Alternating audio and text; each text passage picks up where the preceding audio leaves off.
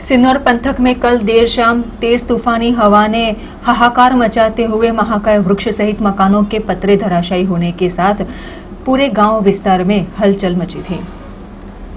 एक तरफ़ corona virus की वैश्विक महामारी का कहर ढाया है तो ऐसे में तूफानी स्वरूप कुदरत की दूसरी आपत्ति आने की लोगों में भी चर्चा और दहशत बनी है।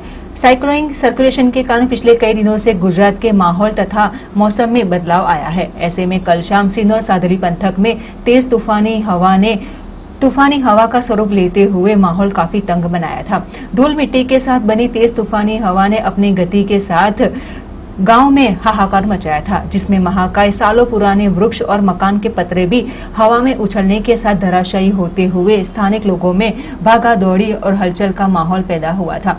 सादली से दीवे जाने के रोड पर महाकाय वृक्ष धराशायी होने के साथ एक वक्त के लिए संपूर्ण रूप से वाहन व्यवहार का मार्ग ही बंद हो चुका था, जिसके साथ कई वाहन भी अटक पड़े थे। सिनौर पंथक में देर शाम भारी हवा और धूल मिट्टी के साथ आंधी फैलते हुए लोगों में भी घबराहट देखने को मिली थी।